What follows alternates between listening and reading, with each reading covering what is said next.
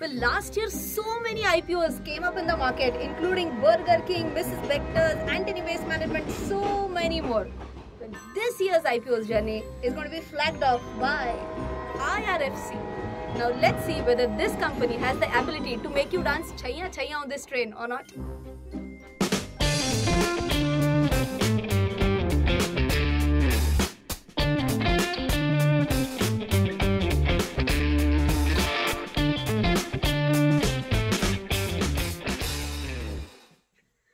Hey folks, CA Rachana Ranade here and I welcome you all to another IPO video review.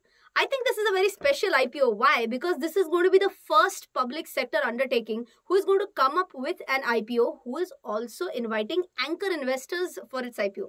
Now, who are anchor investors? These are institutional investors who are allowed to bid for the shares of the company before people like you and me, can bid for the IPO.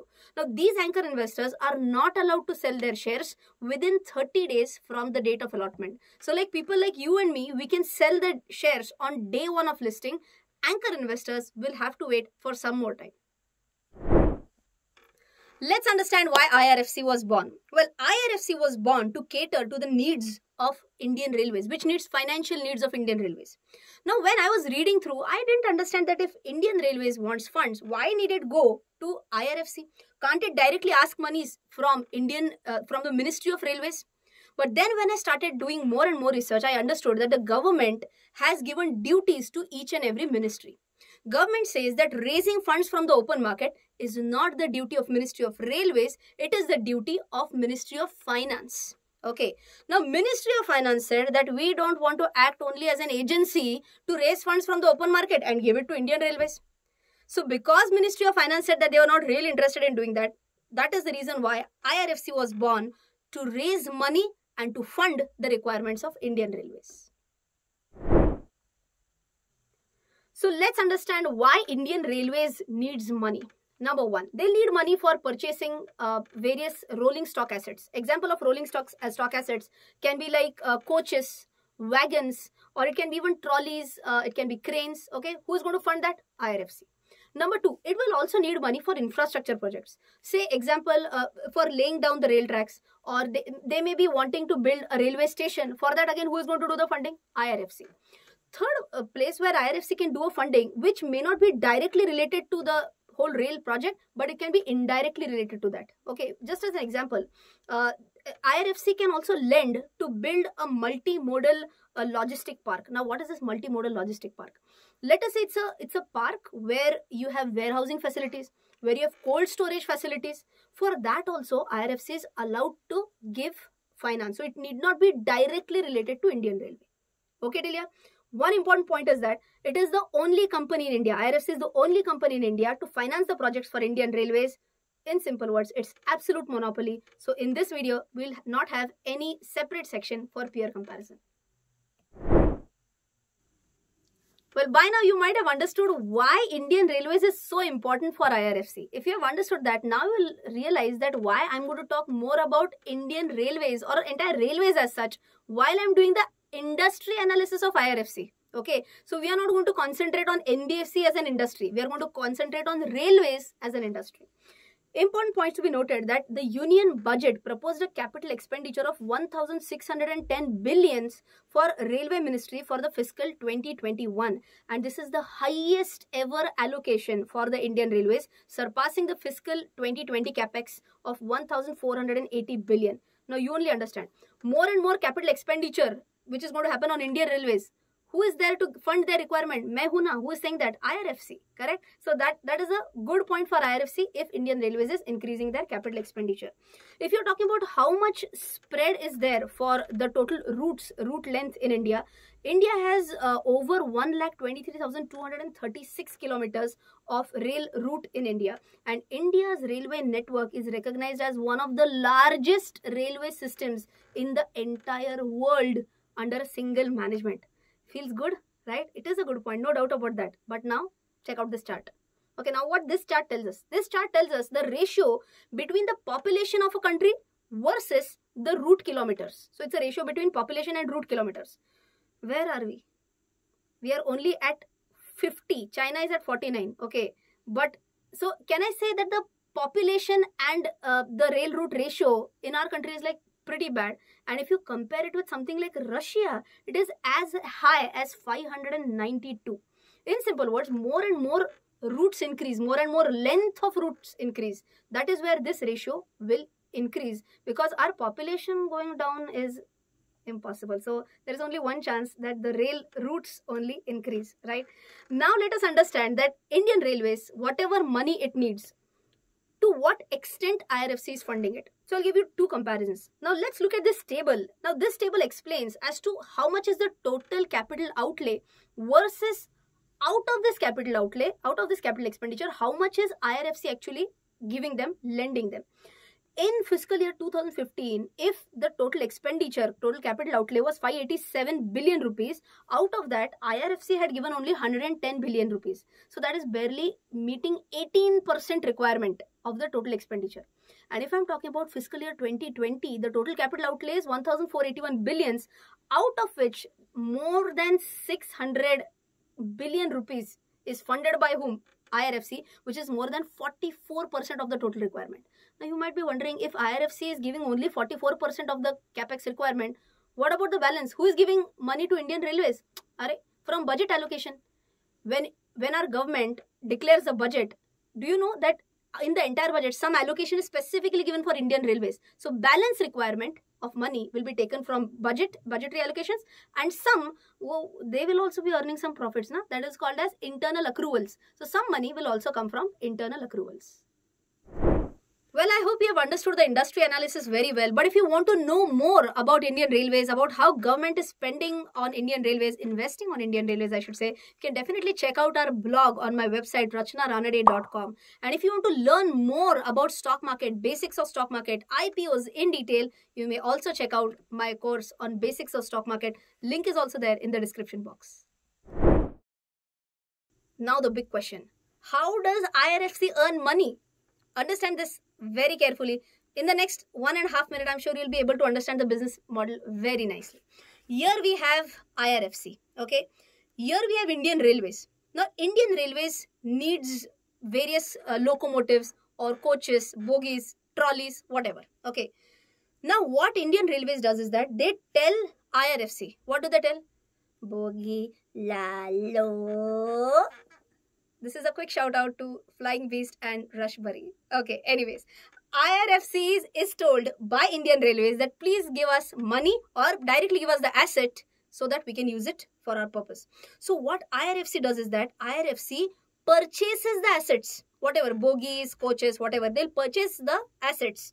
Who will give the specifications for these? IRFC is not a specialist in this. Specifications will be given by Indian Railways that we need this type of bogie, we need this type of trolley cranes. All specifications by Indian Railways. What is IRFC going to do? IRFC is directly going to the going to purchase these assets. So who is the true owner of these assets? IRFC. Now these assets are given on lease. On lease to whom? To to Indian Railways. What does Indian Railway do in return? Indian Railway pays them rent, lease rent. Okay. So Indian Railway is going to give them money to IRFC in the nature of lease rent. Okay. Now the big question is that if something happens to that asset, if that asset is damaged, then who is responsible? Indian Railway is responsible. IRFC is not going to bear the expense for that. Okay, so good for IRFC. But what, what is one big question for IRFC? Where will IRFC raise this much money from? You can imagine that they need to fund Indian Railways that rupees that's going to be in crores and crores of rupees. How will they fund this? How will they raise money from? So they raise money from lenders. Okay, who are these lenders? People like you and me there'll be big financial institutions okay? So these big financial institutions lenders will lend them money. What will they get in return? They'll get in return interest okay? So now let us understand. Lenders give money to irfc of course irfc will issue bonds or some other instrument in return okay? So lenders will give money to irfc irfc will purchase the assets. These assets will be given on rent to indian railways. Indian railways is using the assets. They will pay lease rentals to irfc in return but then how is IRFC earning profit? Simple. If they are giving interest at the rate of 5% to these borrowers, to these lenders, sorry, IRFC is giving 5% interest to these people, they will charge lease rentals, say at the rate of 6.5%. Correct? So their outflow, their interest payment is 5%, they will charge 6.5% to Indian Railways. This balance gap is like a net interest margin. For this business, it's around 1.5%. One last point to be understood. Will this, how, for how many years will this happen? It is, these are long leases, like 30 years long leases. What happens after 30 years? Can you believe or not? After 30 years, this asset will be transferred to Indian Railways at a very nominal cost. Nominal cost can be as low as even 1 rupee. Let's understand three fun facts for this IPO. Number one, whatever lease rentals they are going to get, IRFC is going to get from Indian Railways, they receive in advance. How much in advance? Six months in advance. Wow. So like October to March lease rentals, they are going to get at the beginning of October or by the end of September. Amazing. Number two, what is the biggest risk for any NBFC? It is a risk of NPAs. Okay. Is there a risk of NPAs here? Virtually no. Why? Who is the one who is going to give them money? It is the Indian government. So it's as good as saying that, oh, there is a chance of Indian government defaulting. No, as good as impossible. So the risk of NPAs is almost equal to zero for IRFC. And what is the third fun fact? If you want to increase the chances of you getting allotment of IRFC, then you need to ensure that you have demat accounts in the name of almost all the family members of yours. So if you still don't have a demat account in the name of your family members, you can just check out the link. Link is also there in the description box. Upstox is right now giving an offer where you have a 30 days free brokerage plan and also the account opening is free.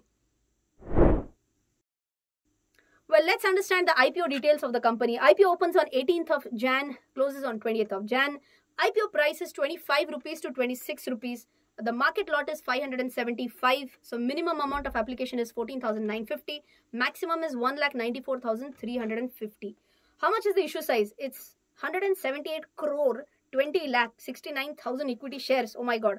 And the fresh issue is to OFS if I check out the ratio it's as good as 2 is to 1 so like out of whatever money is raised two portions will go to the company because it's a fresh issue and one portion will go to the government of India because it is an OFS what is the company going to do with this money? They're going to use it to augment their capital base and to meet their future capital requirement and also for general corporate purpose. Now let's understand their future plans and some risks associated with the business in short. The future plans include number one, diversification of borrowing portfolio. Now they don't want to borrow their money only from our institutional investors, but they would also want to borrow the money from World Bank and Asian Development Bank. Second one is they would want to broaden their financing portfolio. So they don't want to only provide financial support to Ministry of Railways, but they would also want to uh, provide finance to other entities which are administered by Ministry of Railways.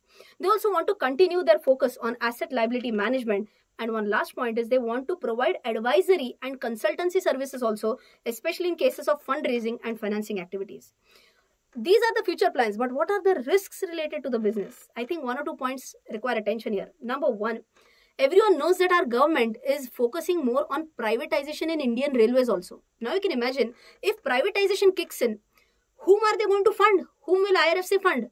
Can they fund to the private players also? Yes. Who has stopped them from funding the private players? But then what is the risk? The risk is there of NPS now. Because if now default comes in, that will not be default from the government, that will not be from the Ministry of Railways. There may be a default from these private players who are entering the market. Okay, so privatization can pose as a potential risk. Of course, business opportunities will increase, but that will come with a risk. And second thing is that if MOF starts raising finance directly so if you remember at the beginning of the video, I said that Ministry of Finance said we don't want to act as an agency just to raise funds and give to Indian Railways. That is the reason why they had started IRFC if Ministry of Finance says, okay, why IRFC We'll also raise funds and give directly to Indian Railways, can that also pose a risk? Yes. These are the two major risks which I would like to attract your attention to. Well, if I move on with the financials, nothing is really scary nor nothing is very much exciting. Balance sheet though is is all good, nothing much for me to talk about. But if I talk about a P&L, one point is that out of the total income, a major chunk of their income comes from lease income. And that lease income is growing at 14% CAGR if I'm considering 2018 to 2020 period. If I'm talking about the finance costs, which is again one of the major chunks in their expenses, that is growing at almost 24% CAGR. And if I'm talking about the profitability, the profitability is increasing at 12.28% CAGR. This is the PBT profit before tax. Now, if I move on to the valuations, the P method valuation is coming to 7.64 times. P is coming at 7.64 times at the upper band, which is 26 rupees. Their EPS for 31st March 2020 is 3.40 rupees. If I'm talking about valuation as per the NAV method, it is coming to 26.67 rupees as on 30th September 2020. And if I'm talking about 30th 1st March 2020, it is coming to 25.50. So by now you might have understood that if I'm checking out the NAV, the company is coming up with an IPO price which is almost equal to its book value, which is almost equal to its NAV. And now, as always, the big question whether I'm going to apply for that or not. And the answer is also, as always, what? I'm going to tell you whether I'm going to apply for this IPO or not on 20th of January, which is a Wednesday at 12 noon as a YouTube live session. So don't forget to join me live on this date so that you can know my decision on this IPO. Till then, take care, Jai Hind, and bye bye.